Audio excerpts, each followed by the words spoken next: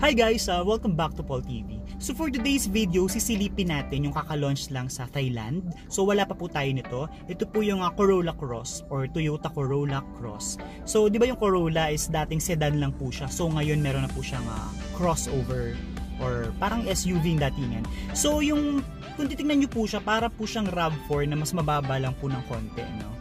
Tapos, yung nilaunch po sa Thailand is uh, merong two engine option. So, yung isa po is uh, hybrid with 1.8 liter engine na gasoline. Meron po itong uh, 120 horsepower na merong CVT na transmission. And yung isa naman po is uh, gasoline engine with 1.8 liters na makina na merong 138 horsepower and 177 Newton of torque na merong CVT rin na transmission. So yun po yung two engine options na meron sila. So hindi lang natin alam kung ganun din yun pagdating dito sa atin sa Pilipinas. Yun.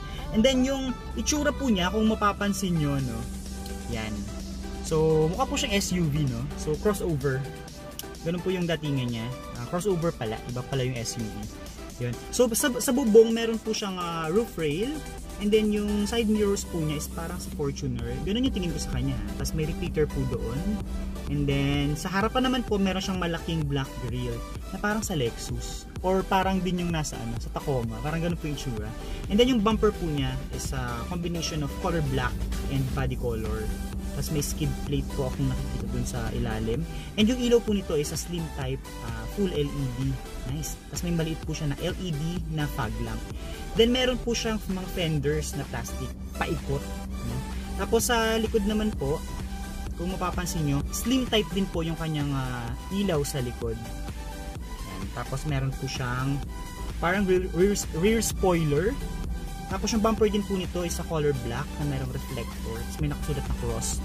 So mukha talaga siyang SUV ng datingan niya pero crossover po ito. Tapos yung antenna po niya is uh, shark fin antenna matangkad, matangkad siya, no? Nice. So, check po natin yung kanyang uh, mga features. Yun.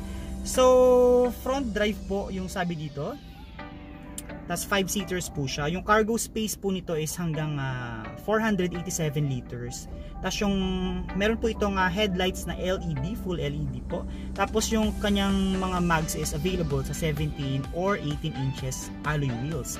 Meron po siyang sunroof meron po siyang leather seats and uh, smart keyless entry and push start button. Nice. Tapos meron din po itong uh, 7 inches na multi-info instrument cluster display. So hindi na po siya yung traditional na na speedometer natin na ganun. So LCD screen na po siya. Wow, nice. Tapos meron din po itong uh, dual zone auto climate control. Yun, yun po yung air, air conditioning system niya with rear aircon vents. So second row po meron po doon aircon vents na merong uh, two USB ports na pang-charge ng device. Nice. Tapos meron din po itong uh, drive mode selector and a 9-inch touchscreen head unit with T-Connect. Nice. Tapos yung upuan po nito sa likod is nare-recline ng bahagya. Tapos meron na rin po itong power tailgate with hands-free access. Good job! Yun. So sa mga ano no, Corolla lover, good news to no. May bago kayong aabangan. Tapos uh, sa safety naman po, meron itong 7 airbags, meron siyang pre-collision system, meron siyang uh, lane departure alert with steering assist. Meron din po itong uh, dynamic radar cruise control with lane tracing assist. Nice, high-tech ah. Tapos uh, meron po itong automatic high beam. Tapos meron din po siyang blind spot monitor, meron din po itong around view monitor with cross traffic alert. Yon. So, uh, hindi pa po ito na roll on sa Pilipinas. So, ang sabi po dun sa article na nabasa ko is soon daw dumating siya. So, hindi lang po natin alam kung uh, kasama po lahat ng features na nabanggit pag dumating po sa Pilipinas. So, excited ako, no? Parang ganda nun. Yung Corolla na legend na nagkaroon ng uh, crossover or SUV na itsurahan. Yun. So, uh, kung meron po kayong gusto i-share, comment lang po kayo sa baba. And don't forget to subscribe. And thank you po sa inyong panonood. Saka, ano din pala, um, pag may avail pag available na to sa Pilipinas, pipilitin natin magawan to ng actual video para mas maipakita ko. So, thank you, thank you very much po. Have a good day and God bless you guys. Bye!